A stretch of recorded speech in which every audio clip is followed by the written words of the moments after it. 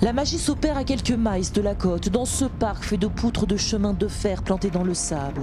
Accrochées au bout de ces cordes, les huîtres sélectionnées méticuleusement par Julien. Et ensuite, je les, fais, je les affine dans les paniers australiens. Pour après, justement, qu'elles grossissent, les affiner, les faire rouler, les faire brasser, les faire forcer. Ici, elles sont bercées, secouées selon la météo par les vagues pendant plusieurs mois. Je les laisse toujours à un mètre de l'eau, parce que c'est là où il y a le plus à manger. Le goût est surprenant, la texture intense, un mélange iodé et doux des eaux de la Méditerranée soumises aux influences du Rhône, dont l'embouchure n'est pas loin. Regardez ça, voilà, ça c'est magnifique. Là c'est tout blanc comme je vous ai montré tout à l'heure.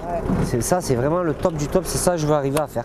Se développer et innover est incontournable pour Julien. Il cherche à en produire plus pour satisfaire sa clientèle. Il a créé ce prototype, cette caisse 4x4. Ça marche bien quand il y a des vents à 40, 50 à l'heure. Et quand ça commence à dépasser 80, 90 à l'heure, on a les huîtres qui remontent avec les vagues, qui passent au-dessus et qui tombent au fond.